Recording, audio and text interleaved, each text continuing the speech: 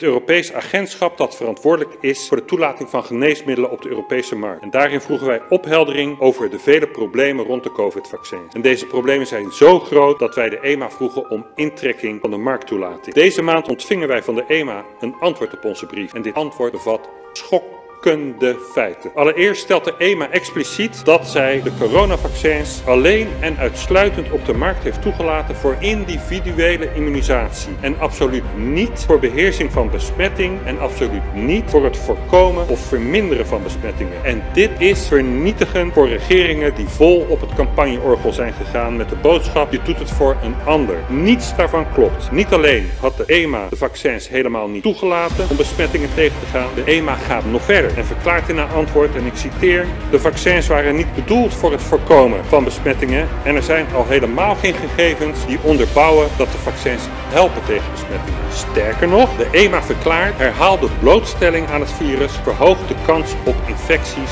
zelfs in gevaccineerden. De massale overheidscampagnes om jezelf te laten vaccineren, om je ouders, je buren, de zwakkeren in de maatschappij te beschermen, waren niet alleen ongeautoriseerd, maar ook volkomen onzin en niet gebaseerd feiten. Maar helaas wordt het nog erger. De EMA zegt de vaccinaties zijn uitsluitend voor de bescherming van het gevaccineerde individu. En voordat het individu, de patiënt, gevaccineerd wordt, moet alle veiligheidsinformatie zorgvuldig worden overwogen alvorens een vaccinatie toe te dienen of aan te bevelen. Dus de sporthallen vol met vaccinprikkers waren compleet in strijd met het gebruik waarvoor de vaccins waren toegestaan door de EMA. En het wordt nog erger. Om de veiligheid van de vaccins te beoordelen was het voor de EMA essentieel dat bijwerkingen goed zouden worden geregistreerd. Wij verwachten vele rapportages van bijwerkingen die optreden tijdens of kort na de vaccinatie. De regering steunde een beleid waarin deze klachten de eerste 14 dagen na vaccinatie juist niet werden gemeld. Alle klachten in die periode werden juist aan het coronavirus voorgesteld. Het is moedwillig in gevaar brengen van mensenlevens. En ik herinner u er nog maar eens aan dat we nog steeds kampen met een gigantisch, zogenaamd onverklaarde oversterk. Kort samengevat, deze informatie van de EMA is vernietigend voor het gevoerde vaccinatiebeleid van Rutte en de Jonge. De regering wist dat de vaccins niet zouden beschermen tegen de verspreiding van het virus, maar deelde deze informatie niet met de burgers. Integendeel,